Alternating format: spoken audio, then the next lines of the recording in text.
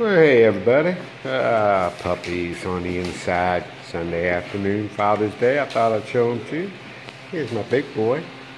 You can see he's now, uh, I don't pick where the puppies have to go to bed. They get to choose their own crate kind of thing. And they kind of,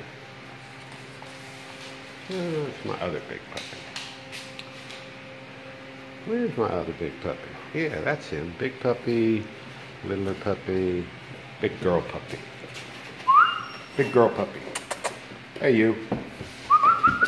Buddy. Yeah, hey, you. Yeah, no. Yeah, we have been inside for a while, but puppies are able to control themselves a little better now. So uh, I'm not as strict with the uh, putting them on a timer kind of thing. They're past that stage already for the most part. So anyhow, just wanted to show them to you. Oh, and uh, I dealt Airedales, of course, too. Hi, Dookie. Hi, hi, Aaliyah. How are you? You go over here. Hi, Miss Gibbattee. Yeah.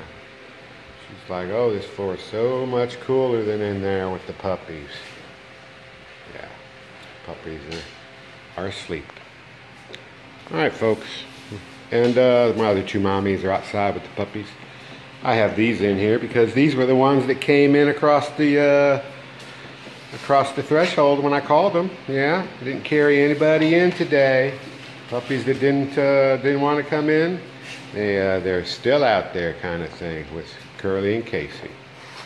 So I'm working with them to get them all in on the threshold, and that's part of the process. All right, folks.